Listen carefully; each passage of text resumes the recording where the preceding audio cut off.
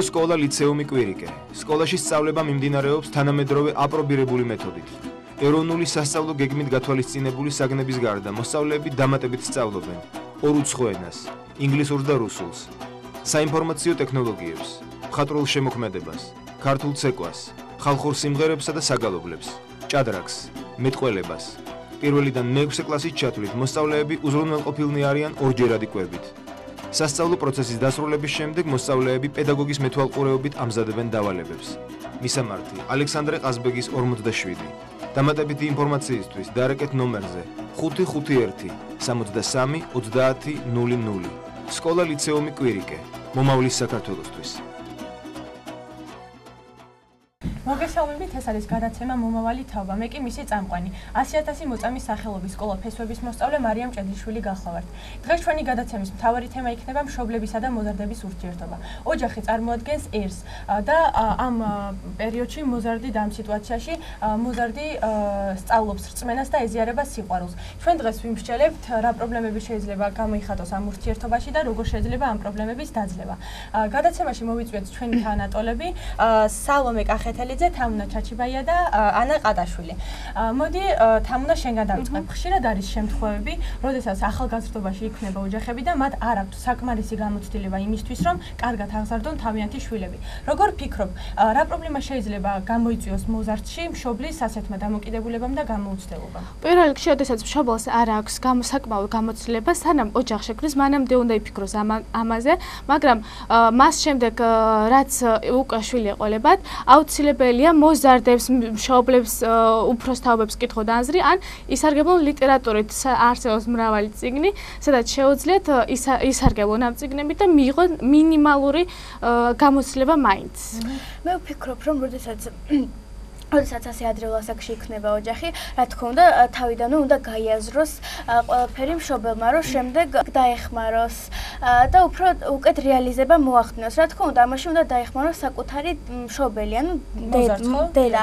და უნდა შემდეგ ამ ამოსობაში ისწავლის გამოცდილებას და უკეთ აღზრდეს საკუთარ შვილს. კი, მაგრამ რა შეიძლება პრობლემას? რა პრობლემა წარმიქნება ამ დროს მოზარდის შინაგან სამყაროში? რის კომპლექსები ექნება მას, როდესაც დედა მარიცის რა ხერხით დაამყაროს მასთან ურთიერთობა?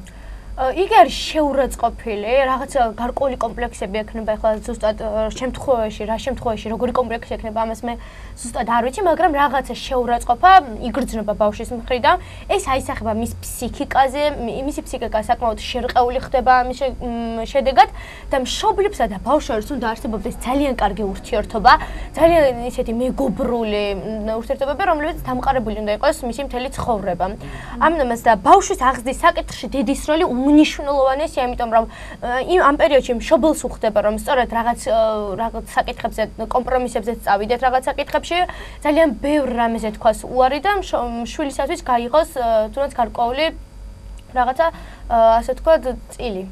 როგორ შეიძლება მოზარდებში გადაიჭრას სულიერი რთული სულიერი მდგომარეობის პრობლემა. რა რა სურჩევდი მოზარდს, რომელსაც აქვს არასრულფასოვნების კომპლექსი და ეს ყველაფერი გამოწვეულია აგრესიულობისგან. რა რა დახმარების ფორმას გამოიყენება? პირველ რიგში მოზარდი. ადრეული ასაკიდან ამშაბელმაც უნდა შეუწყოს ხელი, რომ მიმართოს ეკლესიას და აი პატარობიდანვე იაროს ეკლესიაში რადგან ეკლესია მას ყველანაირად დაეხმარება და მასთან კავშირში. სულიერ სიმშვიდეს მატებს ეკლესიური ფაქტორი ბავშვის ასე ვთქვათ აღზრდაში გეთახმებით. აა თქვენი აზრით, თამუნა, დღევანდელ თაობაში არის ძალიან აქტუალური ძიძის თემა, ძიძის ინსტიტუტი არის აქტუალური თემა. მშობლები ხშირად არის მიზეზი ძალიან ბევრი იმისა, რომ მშობლები ვერ ახერხებენ შულთან ურთიერთობას, რის გამოც ბავშვი არის და უფრო დაკომპლექსებული და აქვს რაღაცის კომპლექსი, შინაგანი კომპლექსი. შენი აზრით, რა ფსიქოლოგიური პრობლემები იჩენს თავს მოზარდის ცხოვრებაში ამ დროს და უჩნდება თუ არა პატივისცემის გრძნობა მშობლის მიმართ? კერძო სკოლა ლიცეუმი კვირიკე. სკოლაში სწავლება მიმდინარეობს თანამედროვე აპრობირებული მეთოდით. ეროვნული სასწავლო გეგმით გათვალისწინებული საგნების გარდა მოსწავლეები დამატებით სწავლობენ ორ უცხო ენას, ინგლისურს და რუსულს, საინფორმაციო ტექნოლოგიებს, მხატვრულ შემოქმედებას, ქართულ ცეკვას, ხალხურ სიმღერებსა და საგალობლებს, ჭადრაკს, მეტყველებას. პირველიდან მე-6 კლასის ჩათვლით მოსწავლეები უზრუნველყოფილნი არიან ორჯერადი კვებით. სასწავლო პროცესის დასრულების შემდეგ მოსწავლეები პედაგოგის მეთვალყურეობით ამზადებენ დავალებებს.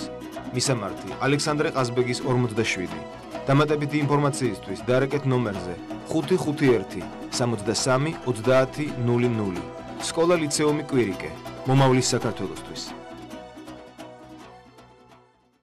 პირველ რიგში ძიძა ვერ შეუცვლის მოზარდს დედის სიყვარულს მე ამის თქვა მინდა იმიტომ რომ დედა უფრო დედამ უნდა გაზარდოს შვილი და მისცეს მას სათანადო სათანადო აღზრდა მაგრამ რადგანაც უმეტეს შემთხვევაში ძიძა ზრდის აუცილებელია ძიძა მასწავლოს ის ყოველივე რათა ბავშვის შემდეგ მომავალში არ იყოს დაკომპლექსებული რაღაცის მიმართ არ კონდეს ისეთი გრძნობა რომ არ შეუძლია რაღაცის გაკეთება რადგან ის მშობელმა არ გაზარდა. კი, მაგრამ ჩემი აზრით მშობლისგან ნასწავლი და სხვა ადამიანის სხვა ნებისმიერისგან ნასწავლი ძალიან განსხვავდება ერთმანეთისგან. დიახ, იმიტომ რომ მშობელი და შვილი უხილავის ხეობით არიან ერთმანეთთან დაკავშირებული.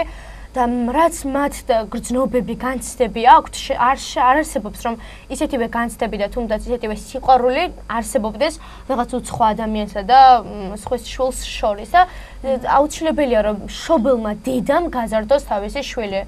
რადგან უფრო სხვანაირი აღიზარდა. და სურჩევდი მოზარდს, რომელსაც დედის სითბო აკლია. რა შეენახა ხსნა? მე იმას ურჩევდი რომ თუ შეიძლება დედამისი ვერ ახერხებს იმას რომ ბავშვი აღზარდოს, თავად შვილმა უნდა შეძლოს იმის რომ დედასთან უფრო ახლოს იყოს. ანუ არ პირიქით ის კი არა რომ გაბრაზდეს რომ დედა ჩემთან არ არის ან რაღაცა უხეშობით ცოტა ცივი ხასიათით გამოიხატოს ეს ყველაფერი. არა პირიქით უბრალოდ შობელთან კონდეს ძალიან კარგი ურთიერთობა, უყვარდეს ის უფრო მეტად ვიდრე უყვარს და ძალიან კარგი ურთიერთობა გქონდეთ მათ ერთად. მშობლებთ აქვთ ძალიან ბევრი საოცარი ვალდებულებები აკისრიათ შვილების მიმართ. აქედან აქედან აღსანიშნავია მაგალითად ის, რომ შულს უნდა აგრძნობინონ სიყვარული, უნდა აღზარდონ შესაბამისად მისთან საკმარისი განათლება. ასევე ყველაზე მნიშვნელოვანია იყვნენ მათთვის მაგალითი. შენი აზრით მართებულად მიგაჩნია თუ არა მოზარდის დასჯა, როდესაც ის დამნაშავეა? როდესაც მოზარდი დამნაშავეა, რა თქმა უნდა, მშობელმა უნდა დაზარდოს, რომ მეორე შემთხვევაში იგივე არ გაიმეოროს. მაგრამ პირველ რიგში აუცილებლად უნდა თავის შულს უნდა დაელაპარაკოს, ყველაფერი აუხსნას. თუ შემდეგში როგორ არ უნდა გააკეთოს, მაგრამ ბავშვობიდან უნდა შთაგონოს და ან ძალიან უნდა იყოს მიუხედავად იმისა, რომ მშობელი აუცილებლად უნდა იყოს მისთვის მეგობარი, თანაც ყველაზე ახლო რომ ეინდოს და რაღაც ძალიან რთულ მომენტებში დაეხმაროს, რაც ძალიან მთავარია მოზარდისთვის და განსაკუთრებით გადატეხის პერიოდში, მაგრამ ძალიან მაგრამ ძალიან ხშირად მშობლები ვერ უგებენ შვილებს. ამიტომ არ გეთანხმების, იმიტომ რომ შობილი ჩემედით უმეტეს შემთხვევაში უგებს მოზარდს, უბრალოდ ბავშვები არიან ისეთ ასაკში, რომ ისინი ვერაცნობიერებენ, რომ მათ მშობელს მხოლოდ კარგი უნდა შვილის. უფრო სწორი იქნება და ბავშვები ვერ უგებენ მშობლებს. ბავშვები ვერ უგებენ მშობლებს, მაგრამ როდესაც დალაპარაკებამ და სწორმა, რომ თქვა დამეგობრებამ ეს არ გაამართლა, მაშინ აუცილებლად უნდა დაისადოს მცირე ზომით, მაგრამ თუ ამანაც არ გაამართლა, მაშინ ძალიან დიდი დასჯა უნდა იყოს. დასჯა აუცილებელია, მაგრამ გარკვეული ფორმებით უნდა არსებობდეს ეს დასჯა და დიახ, უნდა აკმაყოფილებდეს და ასე შემდეგ, მაგრამ დიახ, შენი აზრით როგორი არის იდეალური ურთიერთობა დედისა და შვილის? დედისა და შვილს შორის იდეალური ურთიერთობა არის ის ურთიერთობა, როდესაც შობელსა და ბავშვს შორის არის ურთიერთგაგება, თუნდაც პატივისცემა და არა შიში. პატივისცემა თანაგრძნობა და ისეთი რამ რაც შობელსა და ბავშვს შორის უნდა არსებობდეს.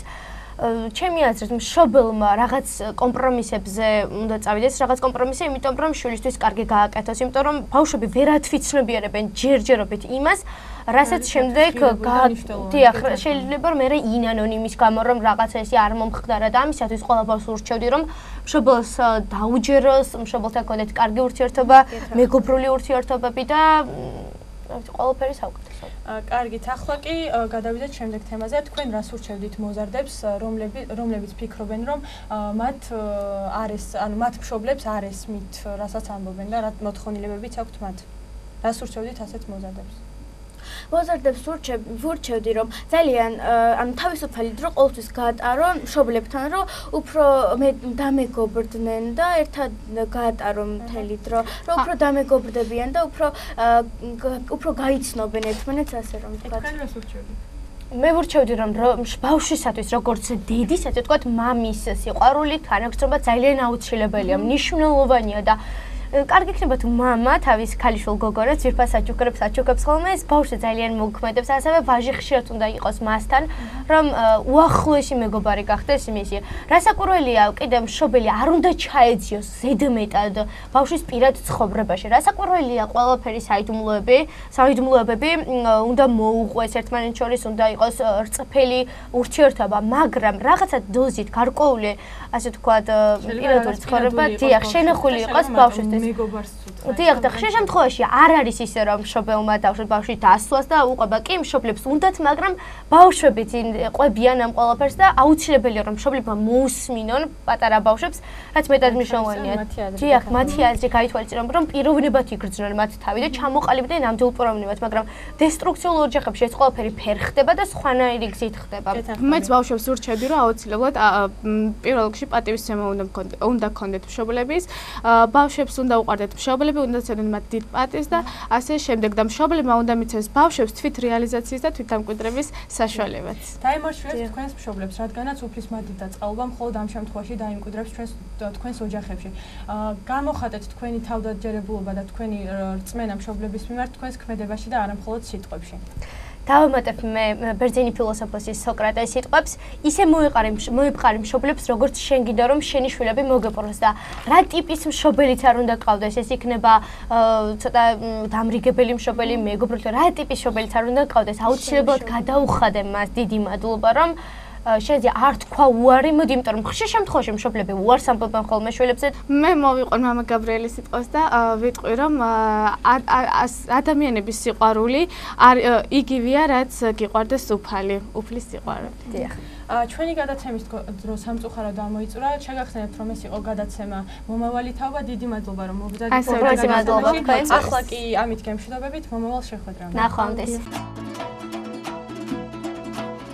კერძო სკოლა ლიცეუმი კვირიკე. სკოლაში სწავლება მიმდინარეობს თანამედროვე აპრობირებული მეთოდით. ეროვნული სასწავლო გეგმით გათვალისწინებული საგნების გარდა მოსწავლეები დამატებით სწავლობენ ორუცხო ენას, ინგლისურს და რუსულს, საინფორმაციო ტექნოლოგიებს, მხატვრულ შემოქმედებას, ქართულ ცეკვას, ხალხურ სიმღერებსა და საგალობლებს, ჭადრაკს, მეტყველებას. პირველიდან მე-6 კლასის ჩათვლით მოსწავლეები უზრუნველყოფილნი არიან ორჯერადი კვებით. სასწავლო პროცესის დასრულების შემდეგ მოსწავლეები პედაგოგის მეთვალყურეობით ამზადებენ დავალებებს. მისამართი: ალექსანდრე ყაზბეგის 47. დამატებითი ინფორმაციისთვის დაარეკეთ ნომერზე 551 63 30 00. სკოლა ლიცეუმი კვირიკე. მომავლის საქართველოსთვის.